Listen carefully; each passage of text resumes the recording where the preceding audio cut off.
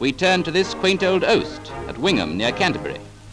It's really a modern house converted from kilns, in which hops were dried until two years ago, and its canopied roofs are the joy of oast collectors. The original oast is over a hundred years old.